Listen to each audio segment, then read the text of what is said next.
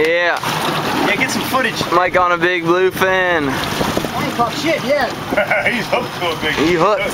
He's hooked on the venison. We got hooked hooked to the motor, then hooked to the trim tabs.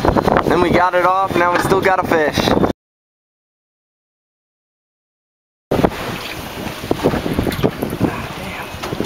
He might be a little bit smaller than 800.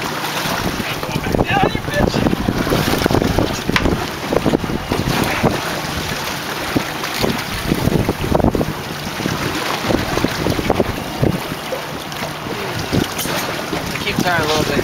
I'm still turning. He's getting. He's just he's just fishing just want to turn it to or something.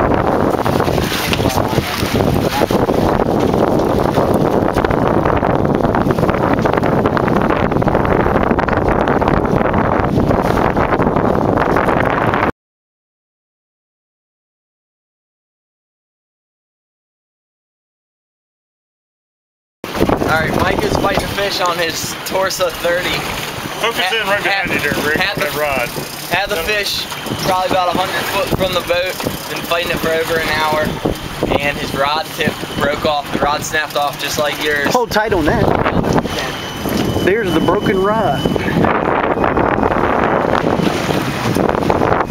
So Rick pulled the line up on that on that rod, pulled up with enough, enough slack, did a couple little knots, He tied and tied up the 80 wide Tiagra to it. Now we're fighting the fish on another reel, and he's he's staying on. So hopefully, uh, ho- hopefully we Oh, can land him. we gotta get that. Hey, you don't, we don't gotta get him hard. Pull him up right here. Easy, easy. Easy, we don't want to lose him. He's under the boat. He's under the boat. He's under the boat. Pull him up. Pull him up. Oh my god. Yeah, we're good. We, he's good. we got him. We got him. Yeehaw! Fish. That thing's got some foam on it, man. That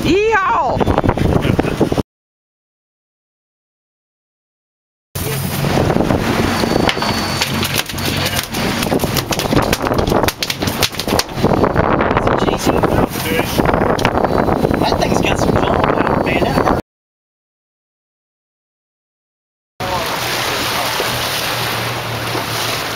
You can see the bottom. You can see the bottom. That's good.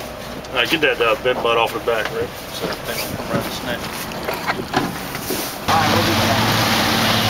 Right at him. Then right turn.